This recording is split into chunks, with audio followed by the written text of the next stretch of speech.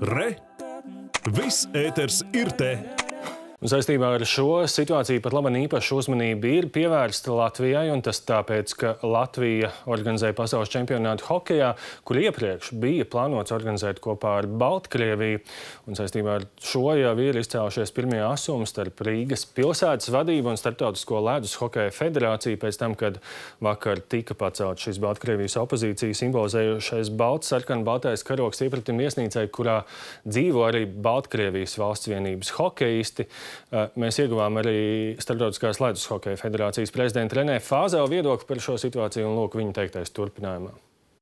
You, you know, back in. Atskatoties mazliet atpakaļ, kad mums bija diskusijas janvārī un februārī par pasaules čempionāta notikšanu Minskā un visa pārcelšanu uz Rīgu, mums bija sarunas ar Latvijas organizatoriem, Latvijas valdību un šķiet arī ar Rīgas pilsētu.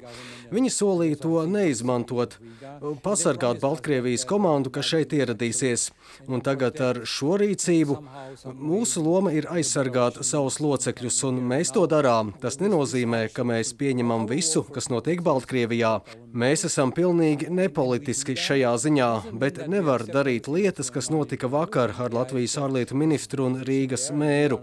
Ir citi ceļi, diplomātiski ceļi, lai risinātu diskusijas starp dažādām valdībām. Mēs to nevaram pieņemt.